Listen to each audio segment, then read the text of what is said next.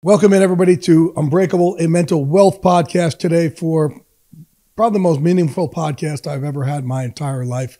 And it's a follow up from a previous podcast of two people who I really look up to, and I think you will as well when you hear this incredible story. And this today was also about me keeping my promise to two people who are very special to me. But before we get into that, uh, if you're like many people, you may be surprised to learn that one in five adults in this ca- country experienced mental illness last year.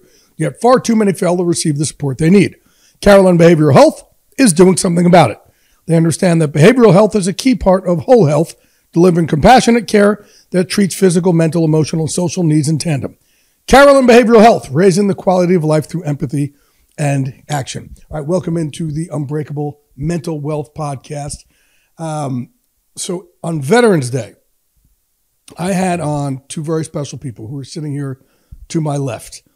Shoshana Johnson, who was the first ever black female POW in the history of our military, and Curney Russell, the Marine, who actually kicked down the door in Iraq to rescue and save her. And back then, they told me they still had not met in person. The wild thing is, I think we think in movies that man, you get rescued and man, you guys just keep in touch. But no, Curney had to, you, Shoshana had to go back and, and she had to get medical attention. Curney went back and fought and served for years.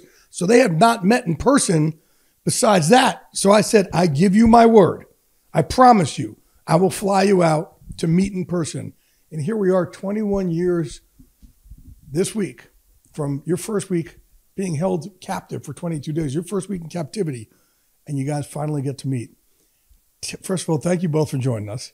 And I'm going to start with you and both of you. Like, what was it like to see this man for the first time that saved your life after 21 years?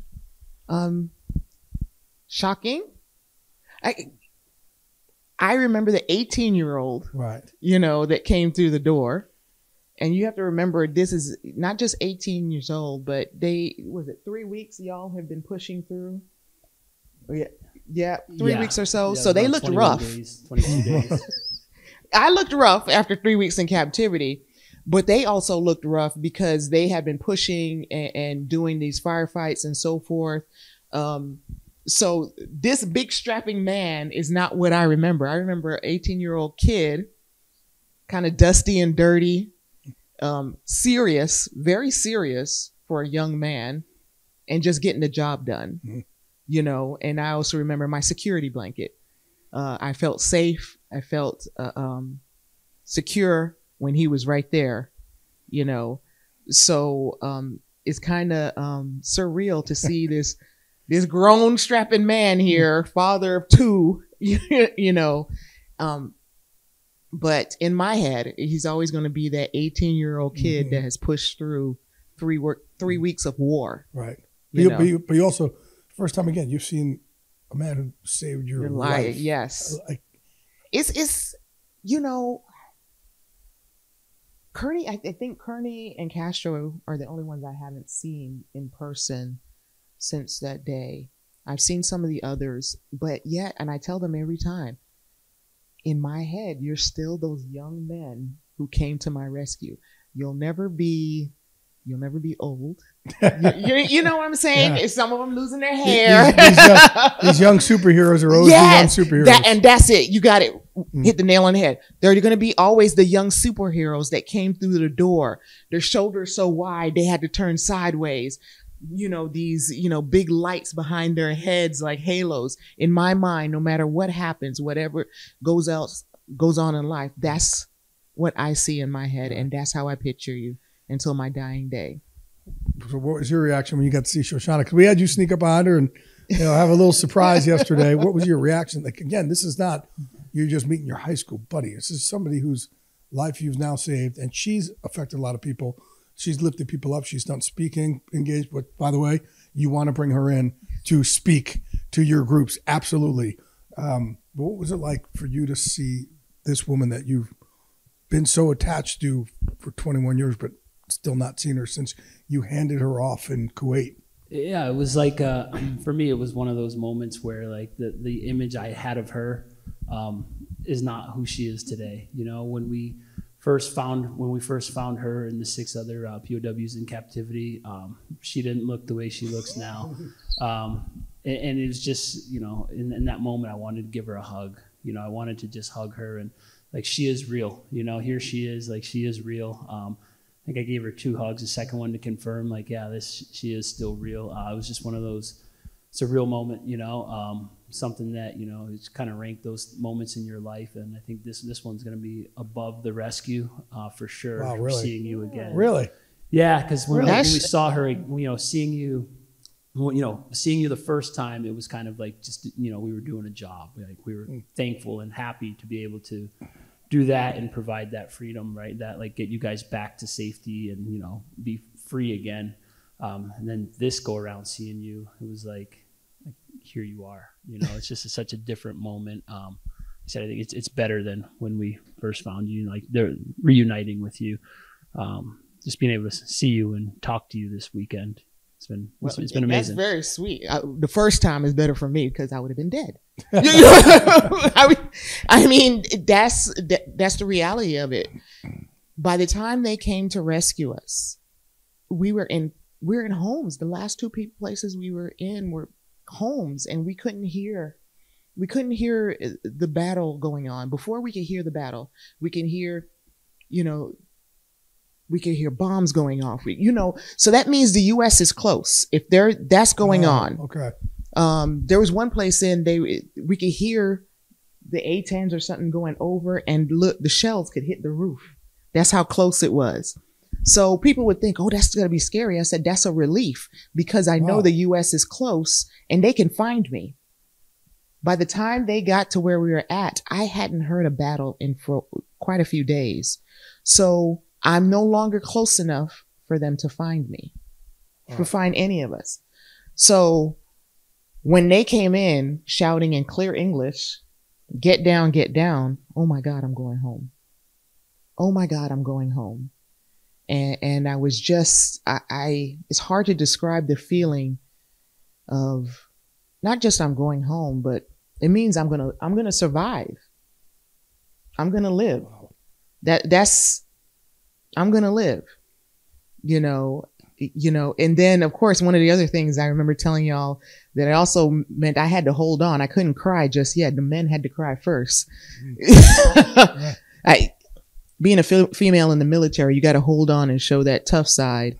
And even being rescued, I was thinking, I, you can't cry, you can't bust you out in tears. over here, like you can't like, bust out in tears, Shauna. You can't bust out in tears because then you'd be seen as weak. You're still trying to hold on and be wow. that strong one and stuff. But um, yeah, and then after we asked where we were at, we didn't know where we were at or anything. We were outside of Tikrit, Saddam's um, hometown and stuff. So we were closer to death than we realized. Exp- explain that. Like, Tikrit, um, Saddam's hometown, his stronghold. Okay. If they had gotten us to Tikrit, there's no way we would have survived. There's no way they would have given us up. So just to uh, kind of put that yeah. into a little more perspective, that when we had formed that task force Tripoli to get up to Saddam's hometown to Tikrit, because that's where like the last stand was supposed to be. The big fight was supposed to be there. The okay. Revolutionary Guard was supposed to be there. All of his loyalists were supposed to be there. So that was supposed to be the big. That was supposed to be the big fight. Um, so I imagine if they were to make it to the big fight before we did, it wouldn't have been good for them. Really? You so you literally thought you were a day or two away from yeah being executed. No, Hugh. And then another inkling the night before they gave they fed us dinner and they gave us soda and candy. What is your last meal? You serious? I don't know if that's what they intended, but that's, that's what I thought. Really? I thought we're in captivity. We've been getting rice, sometimes a piece of chicken and stuff like that. And that was the best meal we've had the entire captivity. So I started to think, I said, they're going to kill us. This is the last meal. And I kept, I didn't say it to the guys right. or anything, but I'm thinking to myself, this is our last meal They're giving us a soda and a piece of chocolate afterwards and stuff like that. And then the next day we get rescued. How do you process that? Going to bed knowing, okay, well, this is my last meal. Tomorrow is my last day. Uh, I really didn't go to bed. You know, we didn't, once we were in that situation, we were all in the same room. We didn't do the whole captivity in the same room. Um, Were you saying we? me and the guys. What got so? It was me and six guys. six- Okay, And then that's the seven American POWs. Yes. Okay. So by then we're all in the same room. So some of us would be sleeping and then others be up, you know, stuff like that. Nobody was all sleeping at night and nothing like that. It's just you're so amped up you don't know what's going on. Wow. So sometimes I would doze off and then I'd like wake up and look around see who else is up. You know. But you said so. When did you? How many places did they put you? in? Seven. They, they had you in seven places in twenty-two Seven days. Seven plays in twenty two days. And how, like, if you can, just describe what the the difference of what there were, and because you said you were they were home. The last two were homes. What were the first five? Yeah. Yeah. We had prisons, jails. Um, the first one was a prison. Um, then there were some jails in there. There was one we call lock and leave storage because it was literally, uh, I would say, five by five little cell. Now I'm five three, uh, or, or five by six because I could fit, I could lay down in it. But we had two, uh, um, two of the guys are over six feet, so they couldn't lay down. Oh my God. They had to if And you're all in it together. no, I Oh, I was by myself, but they put the guys two by two by that point, Wow. and they're so wicked. They put the two six feet guys together Wow. in in in a six by five cell. wow. So you know, and then we tried to talk, and we're like, "Oh, who's with who?" And I'm like, "I'm by myself again." Um, I think that's, but that's actually part of the Geneva Convention. That it was correct. Really? You don't house the females with the males. Okay. Um, one of the things they did do correct. So, you know, lock and leave storage because they literally put us in there locked and then walked away. We heard them walk away and we didn't see them for hours and stuff like that. We hadn't eaten, you know, we had to go to the bathroom, you know, stuff like that. Right. Um, then there was another house, but the firefight was close because that's the one where I heard the um the shells hitting the roof. But the last two places was homes, and I heard no battle. So they're putting you in civilian homes who Yes. are who are obviously supporting Saddam's fight. I'm assuming. Right. I'm assuming because who else is going to walk away from their home and, and have these people in there and then guards? Oh, so the people who own the house, they're not there. They leave. As far as I know, they yeah. Okay. There's So you only dealt with guards there. yes, I only Wow. dealt with guards. Interesting. And so, again, this is our first reunion, uh, first time you've seen each other. Um, and you know, you you shared a great story and a picture with us. That oh yeah. right. This is. I just want the world to hear also, since we've all last spoken, what has happened to your life and your, and your family, um, their reaction to hearing what you actually did.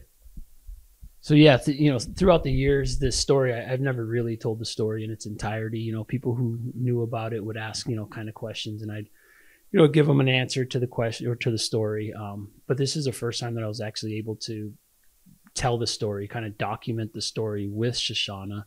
Um, so like my mother and father, who both passed, who they have not never heard the story. Mm. Um, so I have sisters who have finally heard the story. My wife finally heard the story. My daughter has my oldest daughter, who's twenty. So you said when we first did our this Unbreakable Mental Wealth podcast, it's the first time they've heard the story. Yes, yes. It's the first time that they've heard the full story instead of just the bits and pieces of Okay. it. Um, so my oldest daughter was able to hear the story. Uh, one thing that, you know, she I came home that day and you know kind of had a tear in her eye and said that she had heard the podcast and gave me a hug and that like it's when it kind of really sunk in like this isn't about me and you know this is a story that needs to be told. You know, um, it not just for my sake, but you know people who hear this like, may inspire them, right? Um, and also my I have a three year old daughter now, so she was able to. Uh, my wife was actually out in that 29 Palms area hiking around, uh, and she was able to take my daughter out to. There's a mural that's painted of Shoshana and myself out there. So my wife sent me a picture of my youngest daughter, who's three years old, looking up at that picture, and it was uh one of those moments that I had to, you know, put my phone down, then look at it again, and like it's okay if I get a little teary eyed on that. So It's okay if you get teary eyed on that one. yeah, yeah. It's a beautiful picture. Right. It is a beautiful picture. I sent it out on my Facebook and and people are just in awe. They were like, wow, that is so wonderful that, you know, and it's surreal to see your little girl looking up and saying, like, you know, like, wow, that's my dad. Right. You know, yeah. that's a cool thing. I can't believe he didn't tell his family. I can't. Neither could I. Like, I, I this I, is this is superhero real life stuff. And I, yeah. and I always say, like I obviously work with a lot of military, started a military foundation, MVP, and a lot of things I always say is, guys, you gotta your your stories are your equity. And I know the military says don't talk about it, but man, you know, in a life where everybody else lies on their resume, oh, you guys don't say anything. And this is your equity. It's your experience. So you should get out there and say, yeah, this is what I did. And be proud of what you've done. Be proud of your scars and be proud of your accomplishments. And now you're seeing that because you're finally able to talk about it and be proud of it.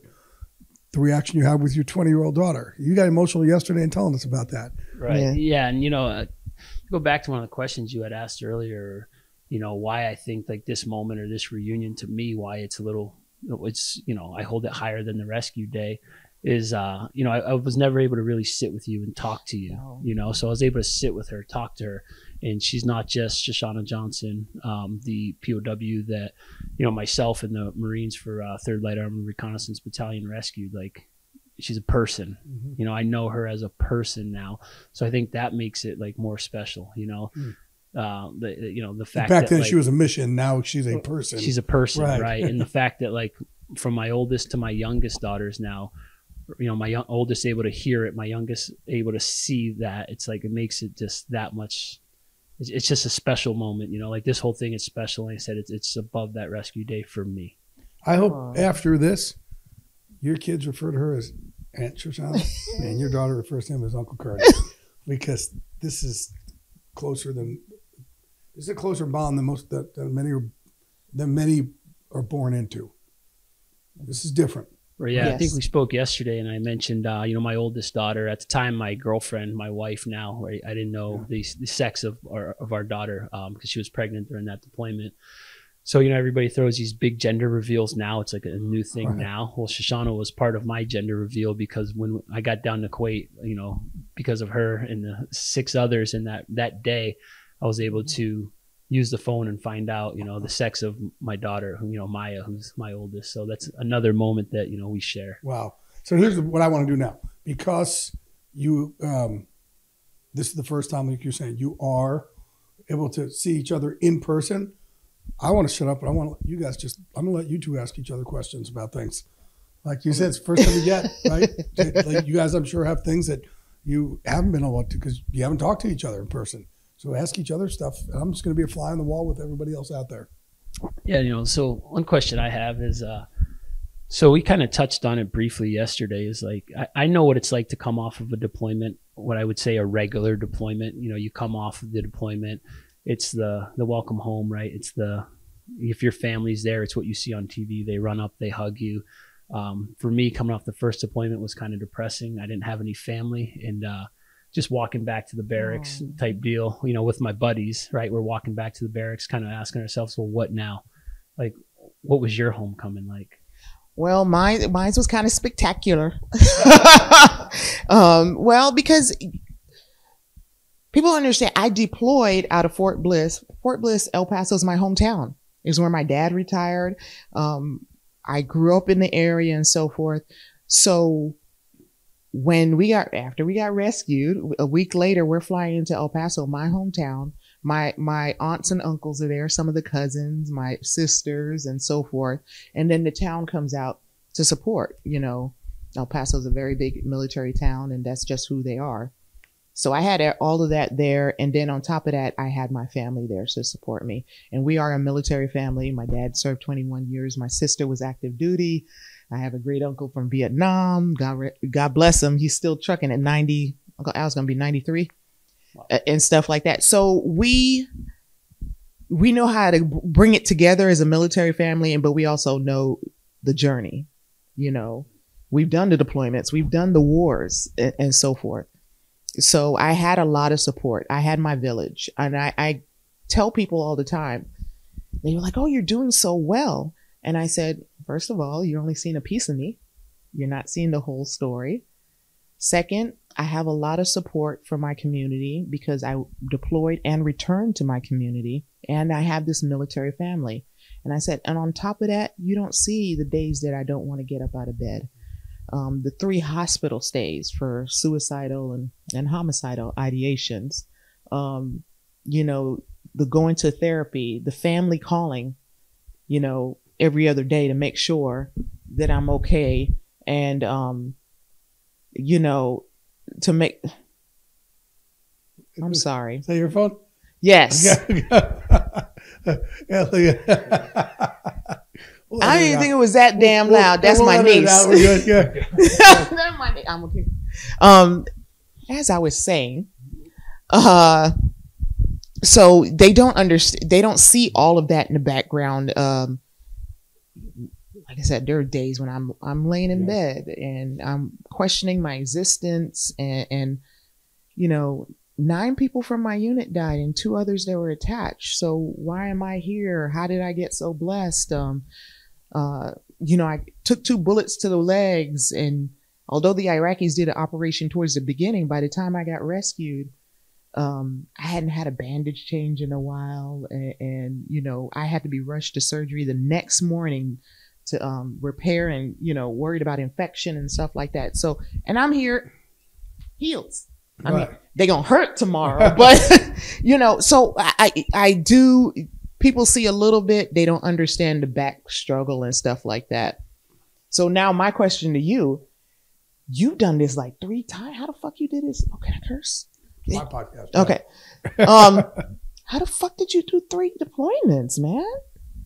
Uh, yeah. Uh, every deployment was a little bit different, you know, um, from the invasion that was, uh, was quite the experience. So glad that you know I was able to be part of an invading force, right, liberating force. Um, then the second deployment was more of like uh, we were calling SASO or um, support and stability operations, uh, trying to restore some government to that to the um, to that country. Uh, so that deployment was completely different than the first deployment. Um, fast forward, did a Afghanistan deployment, um, completely different country, completely different war. Um, and then uh, last deployment was out on uh, on Navy ship, part of the uh, the 11th Marine Expeditionary Unit, kind of just out there um, in certain areas as a pre-positioned force if needed.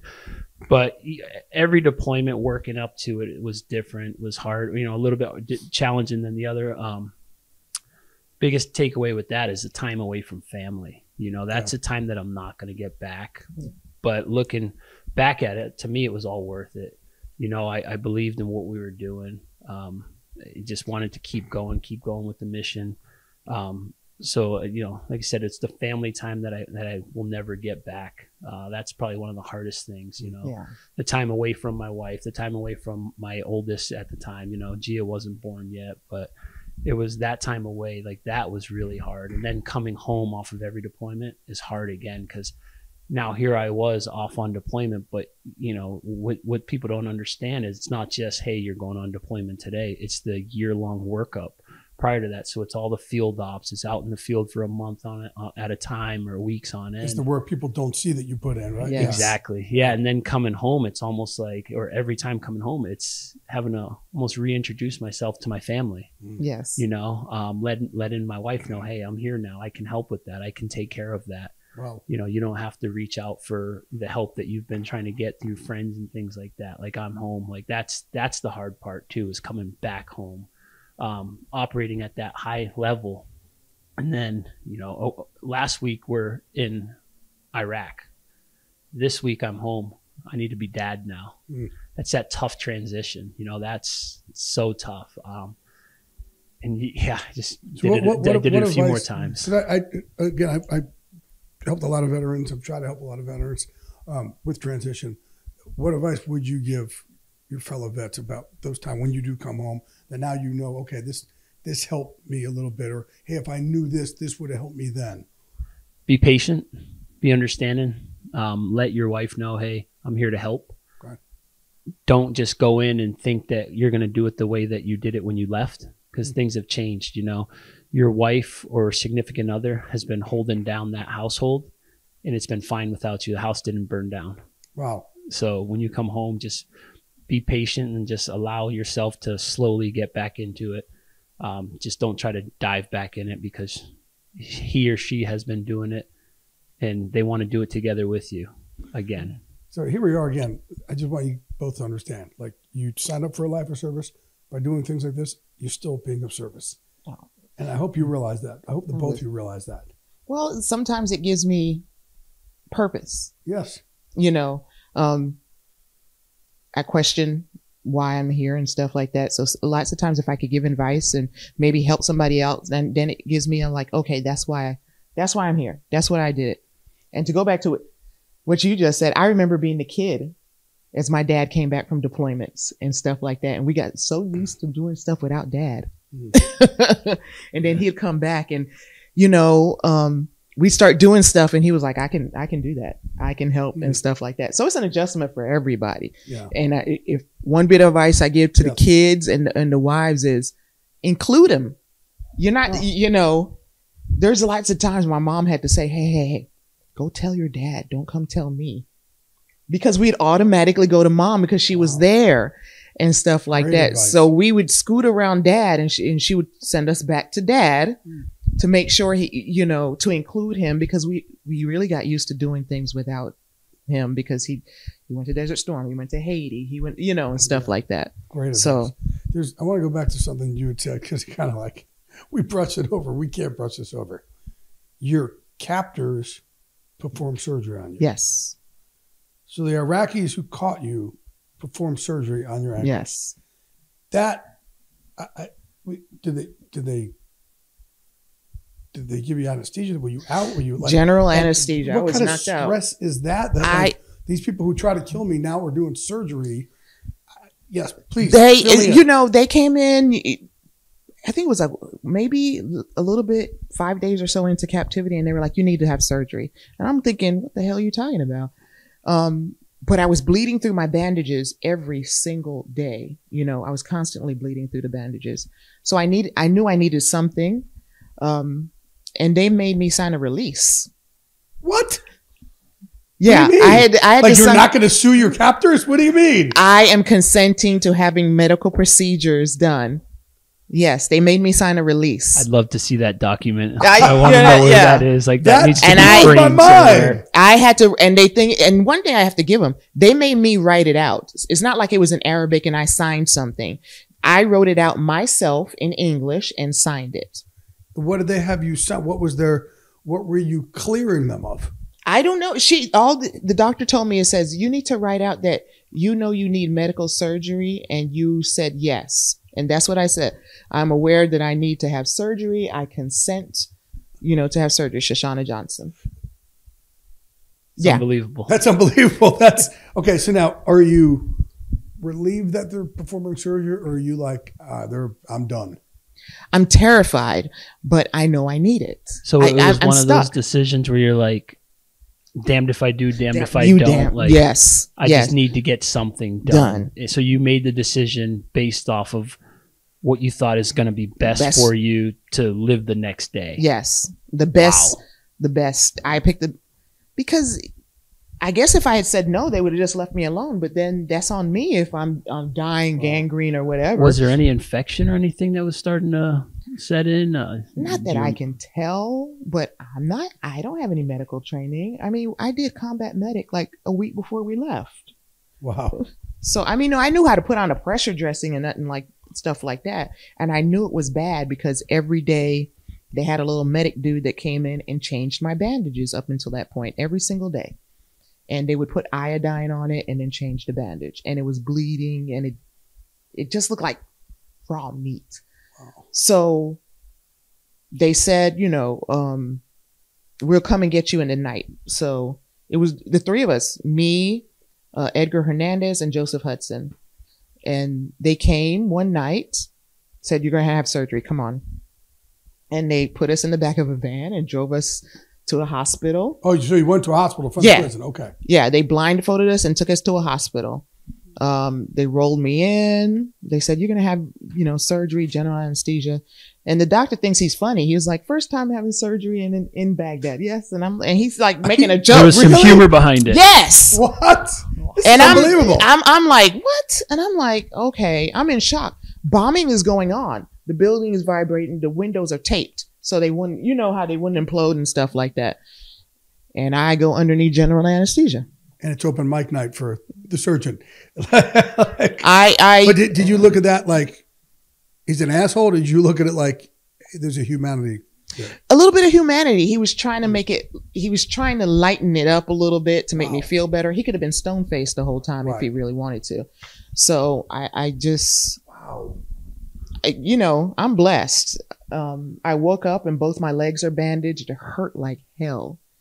It hurt worse than I remember being shot. But wow. when I was shot, the adrenaline is pumping so hard, you kind of and stuff. And I remember being wheeled out, and then I see Joe and Edgar there, and I was like, "Are they okay?" You know, and they take us back to the prison.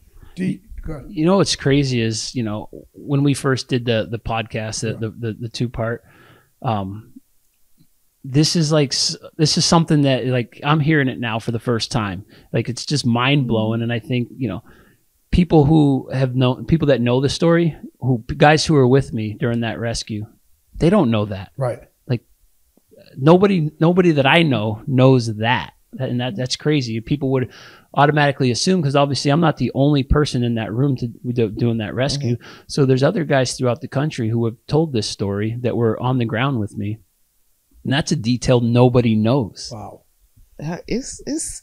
I'm telling you, I, and that's one of the reasons I questioned them. Like, how did I get so blessed? Why? But why question it? You are. But because, but why? But you know what? Don't try and figure life out. It'll drive you crazy. We won't have the answers. Here's the thing: to say I am blessed. What do I do with it now? Yeah, that's that's another but, other side of the coin. Other side of the coin. Here's the thing: I guarantee you, because you've told your story, you have been an inspiration to people. I guarantee you, you have already saved somebody that you have no idea about. And if it was just one, then that's why. I tell you right now, just hearing this story, talking to you this weekend, it's like it gives me more strength. You know, it gives me, me strength. Absolutely. Like yes. it's inspiring. it really is. Like just like I said, the wait, way wait, wait. I saw well, you, you were like the superhero. the way, but the way I like saw you to the way I met you to the way I saw you again yesterday, it's like wow, like how strong are you? Yes. You know, days that I'm having a bad day for something that doesn't even matter, like what you had to go through during that time, and like you're here. Like, hence the two hugs I gave you. Like, you are here. Like, that's strong. Like, you're a strong woman. Like, that's incredible. and one thing I like to tell people you don't know how strong you are until you have to do it. You think. I I think but a lot of people, grown men would have folded in that yes, situation. I don't so. I, Absolutely. I, I, don't know how, how, I don't know how I would have been in that situation. Hey, Incredible. And I don't want to be a little cheesy here, but this is called unbreakable because not everybody is unbreakable. A lot of people break. You did not. You are unbreakable. Yeah. You came through this other side of this tunnel, and it wasn't always pretty, but you're still here to inspire at least the two of us sitting here, which means you're inspiring other people sitting home. That is unbreakable. That is I, that's what your purpose is. That's what your blessing is. That's why you're here. So don't question why you're here. Say thank you, God, that I'm still here and we thankful. can still do this, I and I can still inspire and lift up other people. I want you to like be proud of yourself, saying, "I know I'm affecting people, and that's good enough." I'm I'm a, I'm I am a survivor. I readily admit yes. I survived, and, and, you know there were times when I you know I just wanted to lay down and give up, um, but I had to say I'm like, and there were times I was like, this is it, and then I was like, you know what? I survived the ambush. I can survive this. I survived the, and that's you know during the 22 days. But um, I I just think that it's within every human being.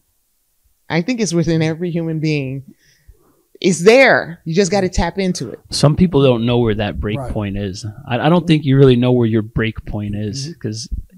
Like, others would have broke. Yes. is there any? I've just read stories of POWs in the past, like Vietnam POWs, who played mind games with themselves to keep themselves going. Is there anything while you were in captivity that you did that a little a little trick you used to keep yourself going? Oh, I planned out my life. I and this ain't it. um, I, you know, at the time I had a two year old daughter. I wanted to have more kids. Um, I saw myself, you know, getting married and living that, you know, that American dream. I have, and I have part of the American dream. I have, you know, my daughter's growing up to be a lovely young woman. She drives me crazy sometimes. Um, which means she's like a normal daughter. Yeah, yeah, yeah. Um, I, I'm blessed enough to be able to um, have a home. Um, I, I, was able to live out part of my dream of going to culinary school. So there's aspects that I've done that I'm, you know, very happy with and and stuff like that. But sometimes I feel I'm still searching for that that golden purpose, you know, and I test out other things to find out if that's it. Um, I do enjoy speaking Right. I, I, I enjoy speaking more at home to the younger kids than I do when I have gigs out of town. I, I am a member of the Military Order of Purple Heart. Um, and one of our things that we do is we talk to the elementary school kids and sometimes the high school kids. And talking to the elementary school kids is what the thing that gets me every time. First of all, you got to prepare yourself because they're gonna come out and ask you every damn thing and they want to know every detail and they're gonna think of some things that you never thought of before the hardest some of the hardest questions i got for some like third graders and fourth graders and i had to go home and take a drink I had to go home and take a drink. You have no filter. None. Yeah, yeah. And and I was like, oh my god! What one kid was asking, you know, if we're the greatest military, how how you get caught? And I was like, what do you say to that? What do you say to that? What do you say? I was like, well, I, I don't, I don't Wait, know. I want to, I want to, I want to, I want to get back, but uh, I'm sorry, my ADHD kicking in, um, so I don't want to lose it. You said you were planning out your life. Oh, in captivity. so yeah. what do you mean by that? Like, is that like a, a daily thing? Is that is you, so? Yeah, it, fill me in. It, you're building your life. You're gonna meet the right guy. You're gonna have more kids. You're gonna be you're gonna be this big culinary chef. Okay. You're gonna do this. You're gonna you know and so stuff. So you're like, envisioning your life past, past captivity. yes, past captivity. What wow. am I gonna do when I get home? And um, you know stuff like that. You know I'm gonna you know see my daughter. I, I'm I'm going to continue with my military career. I'm you know I'm going to go to the culinary arts team. I'm going to you know go to culinary school after. And I thought this I was going to do finish out my 20 years. I said I'm after you know so I'm literally planning out my life. It's going to go like this. It's going to go do like this, and going. None of it happened like the way I. But also it. getting killed then isn't. Yeah, so that's you, not part of the replace, plan. Right, it's getting killed is not part of the plan. That's, no. that's how. You, yeah. So so that's what kept you going. That's what, yes. That's what kept kind of the the mind sane during that time. Yes, especially my daughter part. I'm going to see her, and I'm going to see her grow up. I'm going to see her go to college. I'm going to see her get married. I'm going to see you know, and things like that. So I'm planning out this life, you know, for myself wow. during my captivity. Um, thinking of my family and stuff like that. And you know, I I I have a belief in God. I had long conversations, you know, with the Lord, and and you know all the all the crap you did as a kid, you apologize. terrorizing your sisters. I'm the oldest, so I terrorize right. the hell out of my sisters and stuff like that. Wow. So it is um 22 days. I I God bless the men that did it years, years. Yeah. years. So during that time, because I know during my deployments, um, you miss certain foods, right? Like there was a time that you know we we had outran our supply chain and we yeah. didn't have food for around four days. So during that time, you know, we we were limited on the water that we could drink. So during that time of not eating for the four days, like we come up with this list, you know, like I had this list of what I anything for four days. Uh nothing, nothing wow. for four days, you know. And I always unbelievable, make that, right? And you're supposed to fight. Yes, they oh. did. Yes, um, I always, you know, during you the. See how he keeps brushing well, that yeah. off. well, you know, it's like it's like you know, you as a, as a kid watching cartoons, Tom and Jerry, and you know, Tom looks at Jerry as like a big ham bone. Right, like that's how you start looking at people. You know? but like during that time of captivity, was there something that like was oh, there was like a, was there a food that you're like I'm having yeah. this when I get home because like this is like. There was two things. First, I wanted a big fat steak, a baked potato, and a beer. That all makes sense. Yeah. And then, uh, God bless my grandma. God rest her soul. I wanted my grandma's fish. uh, we're from Panama originally. Uh, kingfish. Mm-hmm. The way my grandmother fries that fish, and since her passing, none of the aunts, my mother, can duplicate it. My dad asked me, what do you want when you get here? I said, Zell gonna be there, my grandmother. I, he goes, yeah, of course. I want kingfish. Wow. That fish was fried. I got that fish the night I landed Oh, wow, in El really? Paso. Oh, I love that. The night I landed in El Paso. As a matter of fact, they um they made us stay on post because the media was all over the place. My father drove back to the house, went and got my fish, and brought me that fish that night. Yeah, Wow. You see, like that's the thing. Th- those are like the things, Jay, that like on deployments that like you look forward to. So I can only imagine, like in captivity, like you- you're looking forward to something. Something's keeping you going, and like you know, it's if it's a food or if it's your daughter, if it's your faith. Yeah. It's just you have to hold on to whatever it something. is and just keep like you know it. Tomorrow is going to be better. My time and her time were completely different in that country. Um, but I still had things in my mind to like keep me going to the next day, keep me going to the next day, and uh, so I was yeah, I was just curious like where where that was. you after you came home and you know you had your daughter and stuff like that, and, and you experience the conflict. I mean, you were the head of the spear. you were the head of the spear going into in country, and yet you still stayed. You still stayed in the Marine Corps. Yeah, it was uh, you know I, uh, you know at the time I I really like that mission like was with the Iraq War. So like backstory on me. So the you know when I joined the I joined at a young age, right? 18, the average group, the average age of that military fighting force is like between that 18 and 22 year old. Um, there was things that I wanted to do when I joined the Marine Corps. Um, as a as a high schooler watching 9/11 happen, I wanted to go to Afghanistan. Like I was I was angry Thank just you. like every every other American. Right, I was angry. So I, I knew I was going to join the Marine Corps. I wanted to go to Afghanistan. Um, I say that that plan got derailed a little bit because the Iraq War started kicking off. So we went into Iraq, right? Went back to Iraq a second time. Um, so the things that I wanted to do was go to Afghanistan and I wanted to go on a MEU. You know, the, the, I wanted to go on, on ship. So like I said, Iraq uh, twice. And then fast forward, you know, some years later, I finally made it into Afghanistan.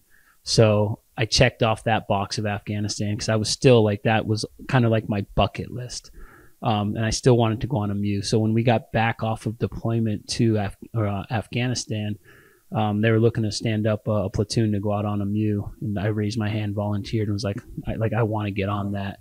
So it was a quick turnaround time from when I was back coming off a deployment to right back into another workup cycle to go on that MEU. So I was able to check the boxes of things that I wanted to do. So that's kind of what made it a little easier is like I wanted Afghanistan. I wanted that MEU. So like that's why I kept doing what I did until I checked the boxes. I got a few more things I want to make sure we get before we gotta let you guys y'all go and hit your flights. What an incredible weekend it's been so far, though. Oh, It's yeah. Oh, yeah. amazing.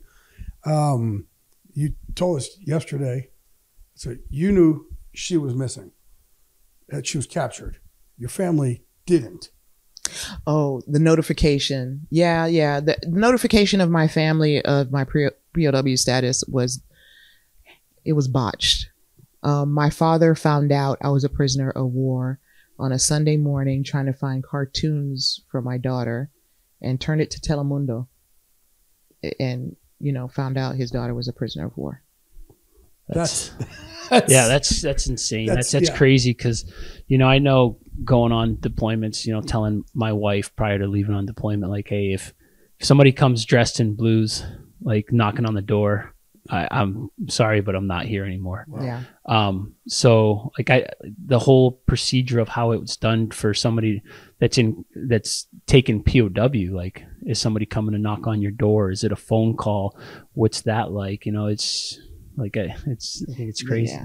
Yeah, they messed up. so they didn't have that. He just, So he what is happened to watch like you know, what's his reaction? Like yeah? Like he and my mom Like was at mass. this can't be real because nobody's at my door. This can't be real because we didn't get a phone call. Like what? It- what it- my was his my mother was at mass. she's at mass. She's Yeah. home. Yeah, Oh she's my at mass. She comes home and they they're telling me this stuff, and um, my mom didn't believe it at first. She was like, "No, Claude." And my dad did 21 years. He deployed to Desert Storm, and um, she goes to work.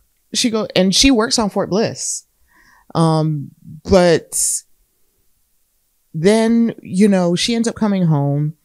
And they're calling, you know, they're calling Fort Bliss. They're getting a runaround. So they get a babysitter for my my daughter, and they go up there And they were like, "Oh, okay," and they kind of bring him to a room to inform them and stuff like that. And um, it's actually a chaplain that told them before they go into the room, "Yes, it's true," and stuff like that. But they had already, everybody had already known. It, it was all over the place by that time. They, you know, how many days into this?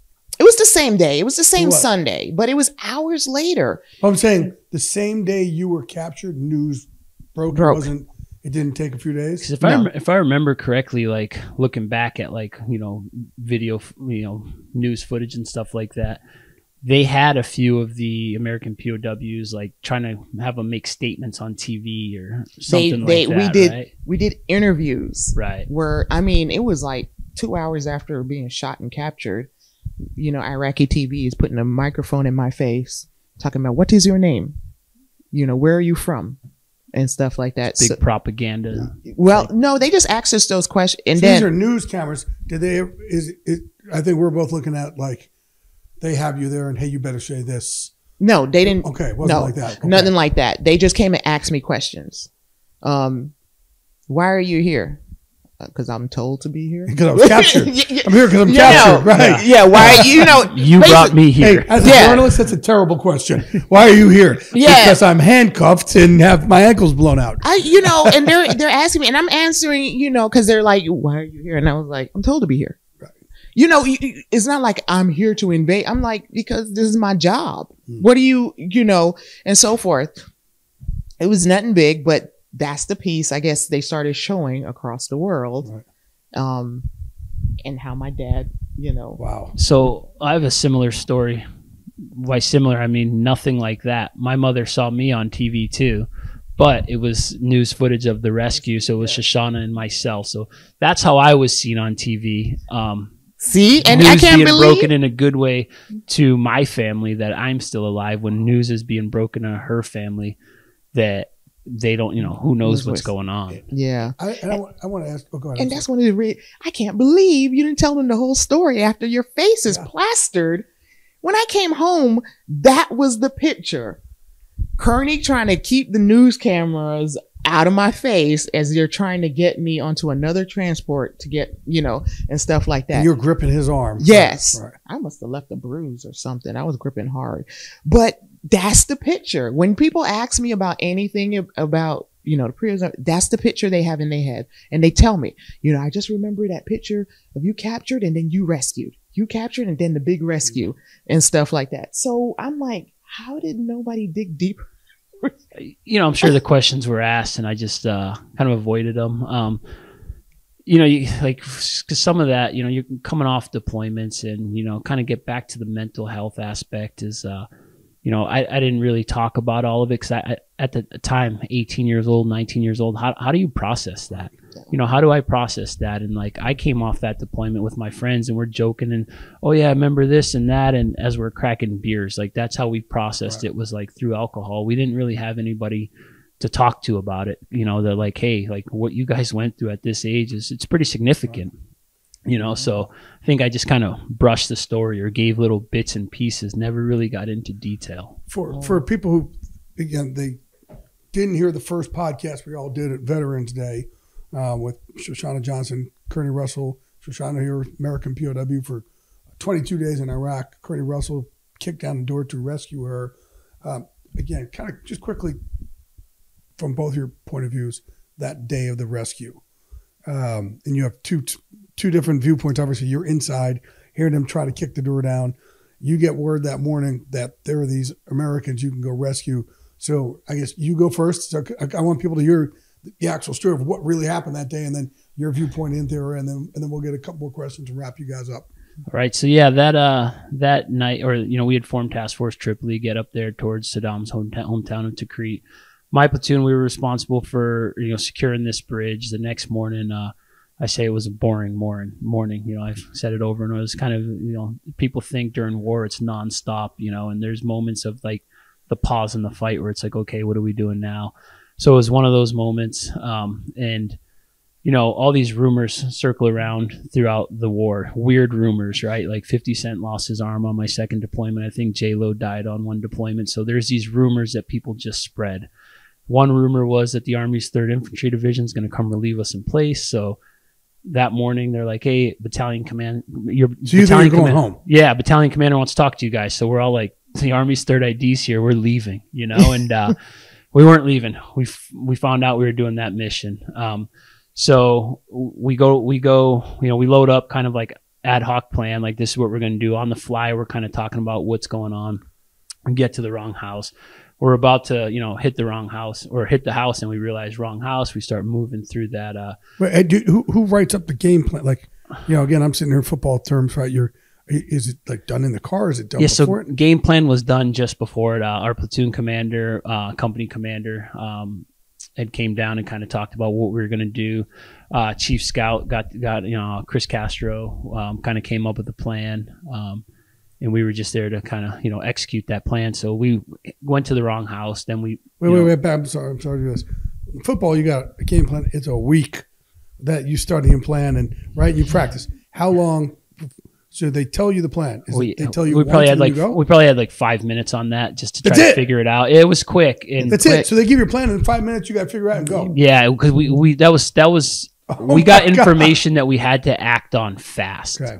Um, if we would have delayed any of that, they could have been moved. You know, they could have been moved. So uh, we come up with the plan really quick. And again, it's as you're taught. You know, we're taught in the Marine Corps, like you know, semper gumby. So always be flexible. If that plan doesn't work, figure out something else. So the first house we went to, that wasn't it. We had to try to figure out where it was. Uh, so we moved through the town a little bit, figure out where that house is. Um, I was a point man going in, uh, and I always say, you know, you watch Hollywood TV, those doors just fly off when somebody kicks it open, right? That's Hollywood. But everything I've ever seen leading up to it led me to believe that you just kick a door and it's going to fly in, it's going to fly open. Didn't happen. So I was the point man. So I remember I kicked the door, nothing happens, and and that quick like and like during that quick moment before I made the second kick, I real I was thinking like I'm gonna get shot because now they all know I'm here. Like every gun in that house is gonna be pointed at this door when it comes in. Are people also coming outside? Like Yeah, we saw in like Black Hawk Down. yeah. So Like- people were everywhere, and uh, I always tell the story. You know, I watched Black Hawk Down in high school. Um, I obviously wasn't there, but from what I saw on TV, there was just people all around rooftops. And what I saw in real life in Iraq, there was people on every rooftop. You know, imagine Wow. imagine a, a new a new force is here. You know, is, is here in California. You know, everybody's going to go outside and look to see what's going on. So you know, get back to the, the to the door. So the second kick again, nothing happens, and I'm like, I'm getting shot. You know. So when the third kick finally. I was able to get the door open with like the third kick, and I when I went in, you know, rifle up, kind of f- flinching, expecting to be shot, didn't get shot, um, and uh, we found them. How- how- immediately, or you have to go sweep. So yeah, it was uh it was kind of like a long hallway, door on the left, door on the right. They were inside of the room on the right, and uh, if I, my memory serves me, um, it's like there was another room just past that that kind of opened up, kind of call it like a living room area, if you you know so to say. So they were in that first room on the right. So when I went into that first room, everybody in the stack behind me is reacting different differently. So we flood that room. Uh, every room pretty much got flooded with Marines. We flood that room dominate that room, you know, tell everybody get down, get down, um, trying to figure out who's who. And then, uh, and then somebody says, Hey, if you're an American, stand up. And at that point, the Americans stood up, you know, the seven of them stood up. Um, Wow. There may have been a little confusion as to who's who. Uh, so, you know, get back down. Like, no, she, she's American. But the moment you see her and realize, like, wow, we just saved these people. didn't even process it at the time because it's everything's still happening. Like now we found them. Now we have to get them out of there. Everybody's outside looking, you know, the looky loser out. Everybody's trying to figure out what's going on. So now we found them. Now we have to get them out of there because that's where they're at right there. It's, it's, it's, they know that as like a danger situation. So we need to get them somewhere safe. So we have to get them out of where they're at load them up, you know, load them up on the vehicles and just speed through that town. Um, like I said, it, it wasn't just me. There was a bunch of other Marines on the ground behind me. It was a, it was a whole unit that did it, you know, a whole company of Marines that, that accomplished this. Um, so we have to get them to safety, right? Other platoons are tasked with securing routes for us to get out of there. We have contingency plans if something goes wrong with us, who's going to come in to get us. Um, Wow. yeah, we're able to get them, So get that- them out. So all right. So that's your That's your out the, the version from the outside going in. That was my day. That was your day. What's the version from the inside going out? Um, well, I remember they they had just given us breakfast, um, and then you hear the bang, So what was the bang? Him kicking the door? or- the door being kicked in. Really? The bang. So you didn't hear any commotion outside? no, or- I didn't hear. I don't remember hearing anything outside. wow. That I don't remember that at all. I mean, you can ask the guys if you get a chance, but I don't remember hearing anything. All I hear is the bang, and I kind of jump, and then bang, bang, and then get down, get down, and I'm thinking clear English. I said that is clear English. I'm going home, and I, it was just surreal. I'm going home. And then they were like, "Get down, get down," and I'm thinking to myself, "I'm the American. I'm not getting down." Um, so I stand, and one of the guys, Gordon Miller, comes over and pushes my pushes me to the ground. Get down. They put everybody on the d- ground to control the situation, and then they pick up, you know, and stuff like that. And from the moment they said, "Okay, Americans stand up," and I start to stand, and they like, then uh, they're like, "Okay," they start hustling us out, hustling us out, you know, and um, Are you crying or you or you not? no, I'm holding on. I remember she she, she Yeah. could hardly walk at that point. I Yeah. remember like I, I remember bringing her out to the vehicle and like having like mm. she could hardly walk. It was kind of wobbly. Yes, very much so. And then they they had us like crouched in a certain position because they're they're clearing, make sure we're good. Then they're talking about when I give you the word, you're gonna make a run for that vehicle right there, and that's when break. I can't run, Oh, and I don't know who it was that said I got you. That was me. Was it Yeah, you? I, I, I brought you to the vehicle. but no, from, Yeah. to Yeah, oh, me, no. it was you. Yeah, I, And then yeah, like a. God. yeah. I get Yeah. out of here and I like brought you the hooked me, and then Yeah. I'm not. Look, I'm not a twig. Wait, that's that's I didn't It may- realize it, was you. Yeah, I think it was it was me. It may- have been another marine, but I remember specifically walking with you out to the Uh, vehicle. to the vehicle because Yeah. we got to get you to that vehicle. And I was like, I can't run. I wasn't, and I and I started to lose it because I'm like, one of the first things is I don't want anybody to get hurt because I can't carry my own load. You know what I'm saying? So if I'm slowing them down and it causes a problem because there are people, you know, after they're look, you you see them put like doing watching and stuff like that as they're trying to get us. So I'm like, my thought is, I can't let anybody get shot or something because I can't I can't move fast enough. That's the worst thing you can ever think. I, I think probably for you, if you can't make, you know, run up and stuff, somebody takes a bullet for you. That's not what you want. So I start to I that's when I start to break down. But they got me to that vehicle quick fast and I'm not light. Uh, even even at, even though I lost some pounds in captivity, I'm not light. They got me to that vehicle quick, fast, in a hurry, and I remember us being like stuffed back there and then just moving, and I was like, "Oh my god, I'm going home." It was just so it was surreal. It's surreal.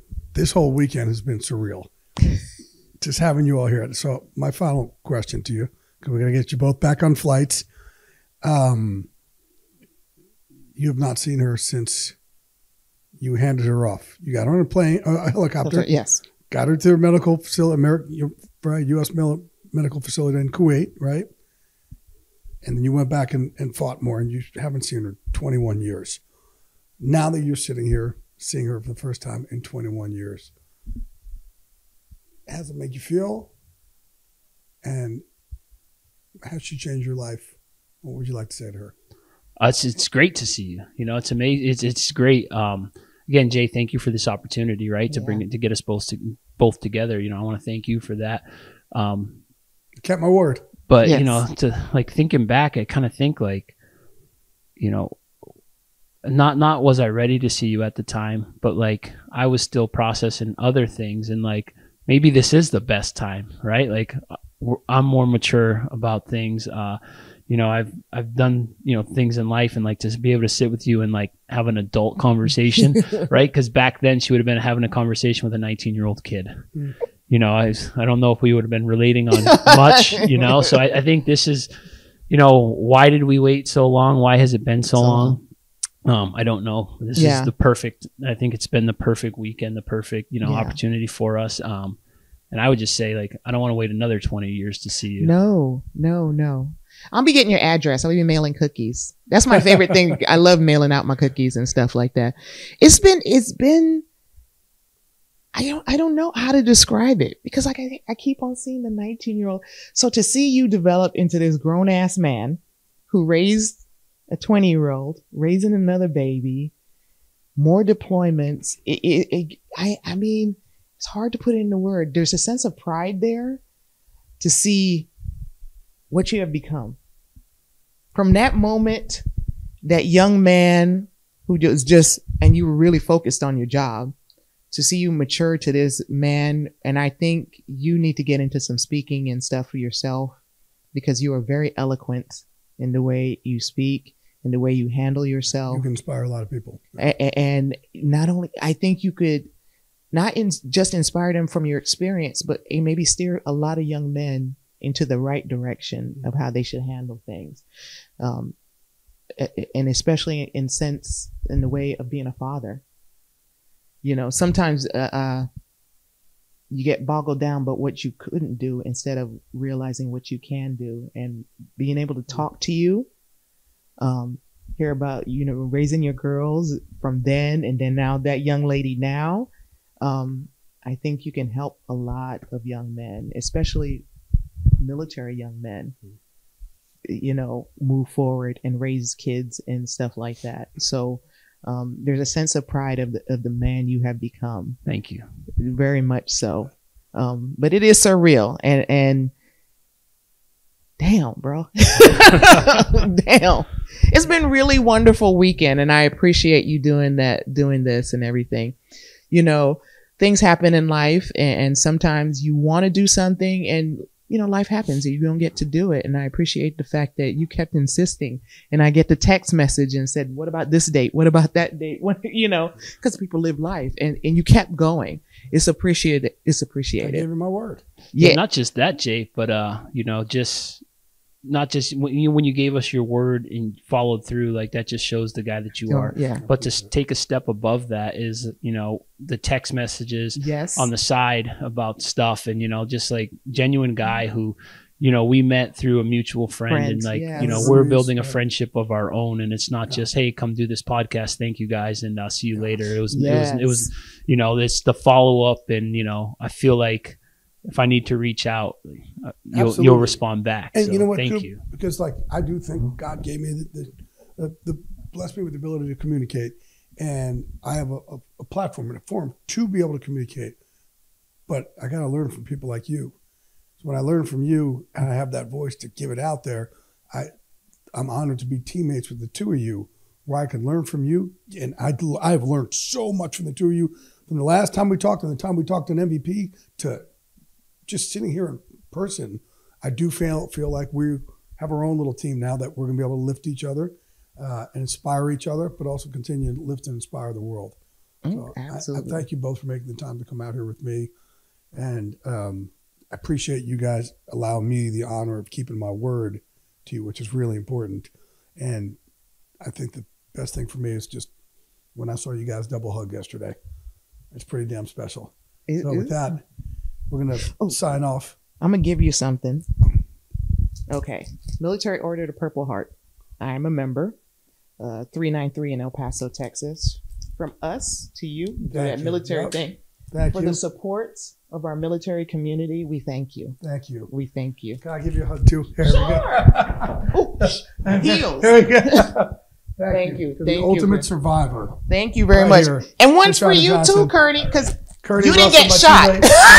he didn't get shot. Shoshana, Curney, thank you, guys, thank you so much. Thank this you. has been the Unbreakable Mental Wealth Podcast, the greatest podcast episode we have ever had by far. Oh my thank goodness. You, Love you guys.